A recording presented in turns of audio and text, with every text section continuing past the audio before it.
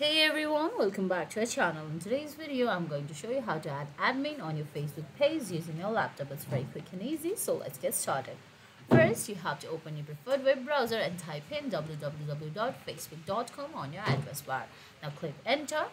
Then you have to give your personal Facebook details and log into your Facebook. Once you log into your Facebook, you can see at the top right corner, you can switch profiles between your page and your personal profile once you switch to your personal profile to your Facebook page, you have to tap on the same account and tap on settings and privacy. Then you have to go to settings. Once you go to settings, you can see at the left side of your page, there are page detail option.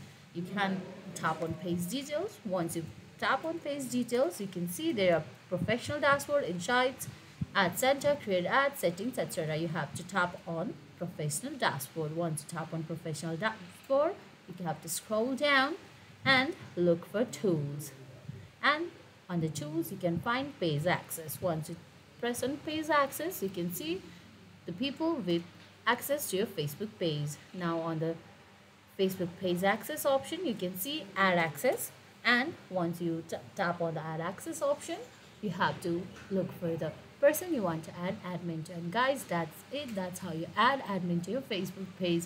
I hope you found this video helpful. If you like this video please give it a thumbs up leave a comment subscribe to our channel and hit that bell icon. See you in the next video. Thanks for watching